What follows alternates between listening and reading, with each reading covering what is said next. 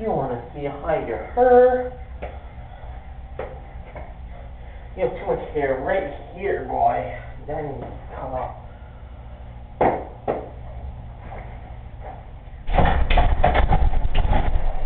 You know, Okay?